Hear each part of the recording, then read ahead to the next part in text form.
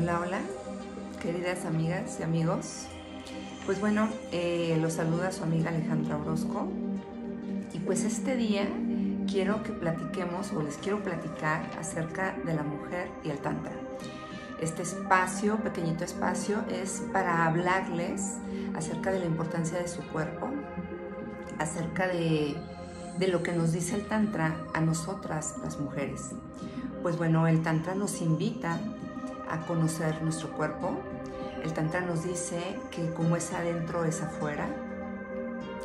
Eh, el Tantra nos invita a sentir aceptación por nosotras mismas, amar nuestro cuerpo, escucharlo, entenderlo, comprenderlo también, ¿sí? Y no es nada más por fuera, sino que es un entender y un comprender por dentro por, fuera y por dentro, ¿verdad? Es cómo funciona mi cuerpo, qué me está diciendo mi cuerpo y darnos cuenta que esto es tanto para hombres como para mujeres, que la manera en la que yo convivo con mi cuerpo y trato mi cuerpo y, y, en la manera en la que yo me entiendo y me hablo a mí misma es la misma forma con la que me desenvuelvo con los demás. Se va a ver proyectado siempre hacia afuera, o sea, siempre va a haber esa esa proyección, ¿verdad? siempre va a salir aquello. Entonces de ahí nace esto que, que tiene mucha lógica para mí, que es el, el, hecho de que si tenemos una mejor relación con nosotros mismos y una aceptación de nosotras mismas, pues lo vamos a ver reflejado en nuestras relaciones también, tanto, tanto de pareja como en, en las relaciones personales, o sea, eh, llámese hijos, papás, amigos, hermanos, lo que ustedes quieran. Y sobre todo que se van a sentir más cómodas con ustedes mismas. Em, el, tantra y, todo, toda esta cuestión esta, promueve también lo que es una sexualidad holística y esto me lleva a cuidar, a echar mano de ciertas herramientas y a darme cuenta que mi cuerpo no es nada más genitales, eh, en cuanto a sexualidad, sino que es un todo, ¿verdad? Bueno, em, yo quiero que yo quiero que tomemos conciencia las mujeres de que a pesar de lo que estamos de, este tiempo que estamos viviendo en el que supuestamente está el empoderamiento de la mujer y supuestamente las mujeres estamos empezando a abrirnos un poco más eh, a ver más apertura pues aún así estamos censuradas en cuanto a esa parte de la sexualidad, ¿verdad? La mujer tiene, las mujeres tenemos más censura y bueno, yo, yo para mí e, esto de, las, de, la mujer censurada en, mucho, en muchísimos aspectos tiene que ver, eh, tiene que ver con, muchas cuestiones que son eh, culturales, religiosas, o sea, tiene, tiene que ver con muchos aspectos. Porque miren, bueno, si nosotros vamos a la historia y nos vamos a la antigüedad, por ejemplo, em, hay, hay eh, los mayas, o sea, en, la antigüedad los mayas consideraban muy importante el, útero de la mujer, o sea, lo consideraban su, centro de poder. Y era, eh, si ese centro estaba equilibrado, la mujer estaba equilibrada en todo sentido. Y era un respeto muy grande porque daban vida, o sea, porque damos, dimos vida o damos vida, la mujer da vida, em, y este, pues era considerada de esa forma sagrado, su sagrada, ¿no? Tenían esa fuente de poder tan grande que era eh, su útero donde podían dar vida. Y eh, los chinos de Jara también consideraban que, que estaba la energía vital concentrada en, en, en ese útero, por supuesto, porque da vida, ¿verdad? Entonces, si nosotros entendemos, conforme fue pasando el tiempo, conforme fue pasando eh, la historia, fue caminando, pues las cosas fueron cambiando, o sea, fueron cambiando y para mí, desde mi punto de vista, yo se los digo, es personal tiene una, tiene una relación aquí muy fuerte religiosa, sobre todo lo, considero religiosa y política, ¿sí? O sea, también, está, también vamos a meter político religioso y es todo, y, político, religioso, social, o sea, tiene un trasfondo fuerte el hecho de que, de que, de que cuando nacemos siendo mujeres, eh, el, por el simple hecho de ser mujer ya, ya, eres, ya estás abajo, ¿no? El ser hombre es, es, estar arriba y el ser, naces mujer y ya estás por debajo por que los hombres, y, o que el hombre, que el varón, y, ya se entiende, o sea, no hay más, está sobreentendido, pero vuelvo a repetir, esto tiene un trasfondo fuerte, eh, económico, político y social también, o sea, de, de, de, el miedo, la censura, el, ese, ese querernos ver de una manera mm, callada. Em, y, vuelvo a repetir, o sea, el hombre tiene más apertura en todo, en todos los sentidos, ¿verdad? Aunque en su parte sexual, creo que también les hace falta, o sea que también les hace falta em, continuar con, el, explorar y el conectar todo su cuerpo, porque al final de cuentas, pues todos los vórtices de energía que tenemos están conectados, ¿verdad? Pero bueno, siempre yo me he ido mucho por el segundo chakra, que es el que está vinculado con la sexualidad. Ya se los he platicado, ya les he dicho por qué, o sea, para que está vinculado con la manera en la que nos arropa la tierra o en la que nos sentimos arropados por la, por la tierra, cómo nos desenvolvemos, em, cómo nos desenvolvemos con los demás, con la creatividad, con la abundancia, con el poder obtener lo que queremos. Eh, entonces está con el amor, alegría, la aceptación, el, merecer. Entonces está vinculado con todo.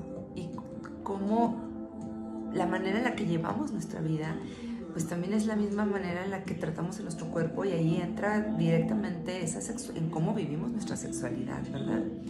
Entonces, bueno, retomando el tema de la mujer, pues hay, hay, mucha, hay, mucho, mucha, muchos, muchos, eh, mucha tela por, de dónde cortar, o sea, y de dónde podemos sacar eh, herramientas para ayudarnos eh, por medio del tantra y de esa sexualidad holística en cuestiones que estamos viviendo en la actualidad, en muchas mujeres que no tienen una sexualidad plena, que no tienen orgasmos, que no, que, no, que, tienen anorgasmia, que no, nunca han sentido uno que son muy, que se sienten muy em, oprimidas o que muy reprimidas también, que, manejan una represión grande en su, en su cuerpo.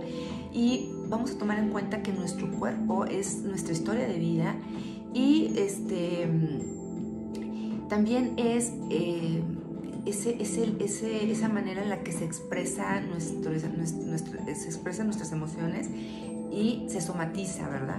Entonces el alma se puede enfermar, sí, sí se enferma el alma.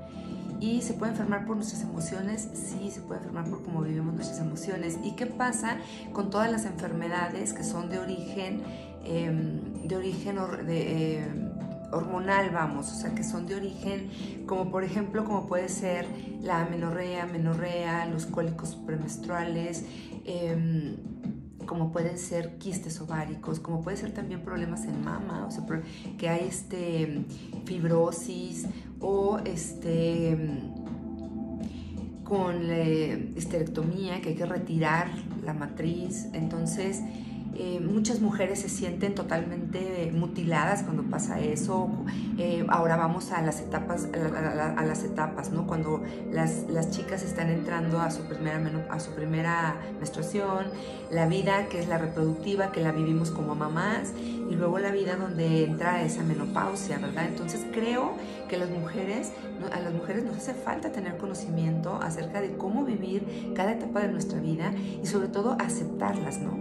Aceptar que estoy, que estoy entrando a cierta etapa, pasa mucho eh, cuando, miren, pasa mucho en la maternidad, cuando traemos algo de trasfondo, quizá puede ser transgeneracional o puede ser, eh, sí, alguna situación transgeneracional em, relacionada con la maternidad o puede ser que en una familia haya habido abortos o que en una familia haya habido eh, algunas enfermedades hereditarias y, o que haya habido, eh, hay, cuando hay, hay cuando muchas mamás solteras o ciertas situaciones que se viven que están relacionadas con la, con la maternidad y que resulta que la, la mujer cuando nace puede nacer sin, sin eh, puede nacer este infértil o puede nacer sin útero o puede nacer con alguna situación en la que inconscientemente eh, ella se esté negando el ser madre porque puede sentir culpa, o sea, son muchas situaciones las que se pueden estar viviendo con relación a, la maternidad, ¿sí? Con relación a los cólicos menstruales también, o sea, es cómo, estamos, cómo vivimos las mujeres eh, o cómo aceptamos el hecho de ser mujeres y cómo vivimos nuestra feminidad y cómo lo vivimos también con nuestra pareja. Está relacionada todos, estas, todos estos padecimientos están relacionados directamente con el ser mujer y cómo vivimos con nuestro entorno el hecho de ser mujer, ¿sí? Desde, desde el, cólico menstrual de, las chiquitas, o las que están empezando su, vida como mujeres, la aceptación de soy mujer y, es la aceptación también de cómo estoy manejándome a nivel a nivel general en, eh, en mi casa, ¿qué, qué, significa el hecho de ser mujer, cómo en mi clan, cómo vive una mujer, ¿verdad? O qué es una mujer para mi clan. Em, y como mujer, el hecho de, a veces hay miedo a la maternidad, o sea, a la, responsabilidad de la maternidad, el hecho de no me puedo hacer cargo de, ni de mí misma y me voy a hacer cargo de alguien más. Entonces yo me niego el ser, esa maternidad. O eh, en el caso de o, alguna situación con la pareja, ¿sí? No, no quiero que se acerque mi pareja, entonces yo tengo quistes, tengo problemas, este, quistes ováricos, tengo miomas y y una serie de cosas porque tengo una situación con, la, con, el, con el ser mujer, ¿verdad? En el trabajo también puede ser, o sea, lo que se puede ver reflejado ahí también. Y también se ve reflejado cuando entramos a la menopausia, o sea, cuando la mujer entra a la menopausia y se siente totalmente em, inservible porque pues se acabó su vida reproductiva, su vida como mujer está muriendo, ¿no? La ven de esa manera. ¿Y saben qué? Es cuando más hay que conectar con esa parte femenina.